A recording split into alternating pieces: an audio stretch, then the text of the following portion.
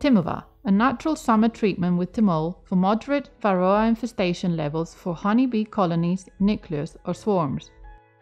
Thanks to a good queen and brood tolerability, Thymovar is preferred as a long-term treatment and as protection against reinfestations.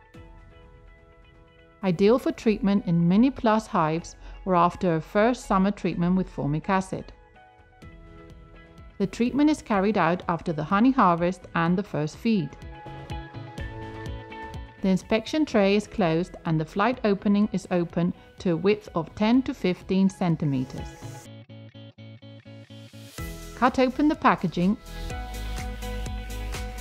and apply the number of strips or half strips as required.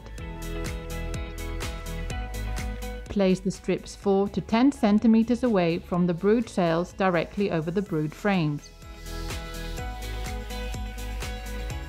A distance of 1 to 2 centimeters between the strips and the cover of the hive is ideal for evaporation.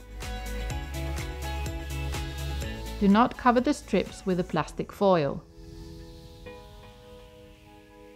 The strips should be removed after 3 to 4 weeks. The colony is then fed.